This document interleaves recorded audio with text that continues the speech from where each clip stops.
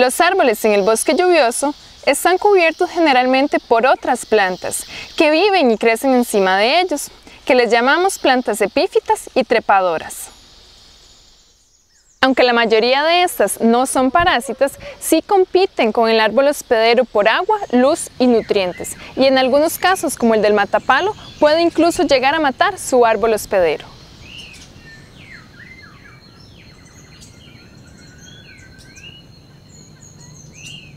Por lo tanto, no es de sorprendernos que algunos árboles desarrollaran mecanismos para evitar a estos visitantes no deseados.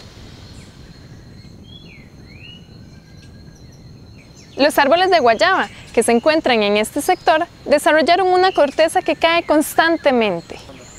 No es un error ni una enfermedad, sino una adaptación de la guayaba para disminuir las probabilidades que semillas de matapalo y epífitas, tanto como plantas trepadoras, puedan establecerse encima de la guayaba.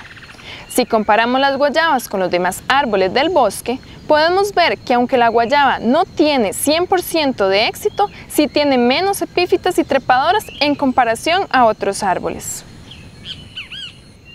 Es un ejemplo de mecanismo de defensa física que usan algunas plantas en este bosque y al igual que la guayaba, fue desarrollado por algunos otros árboles, como el indio desnudo y el guayabón. Otros ejemplos de defensa física de las plantas son las espinas y hojas que se cierran en reacción al contacto.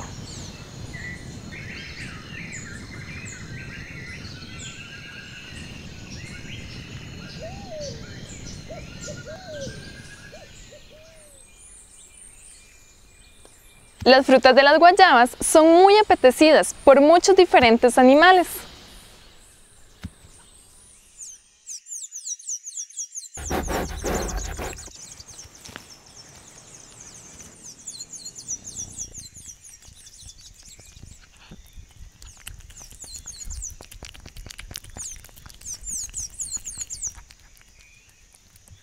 Por lo tanto, este árbol es muy bueno para acelerar el proceso de reforestación de un área que fue talada, ya que las guayabas atraen a diferentes animales del bosque que dispersan las semillas de los árboles del bosque en el guayabal.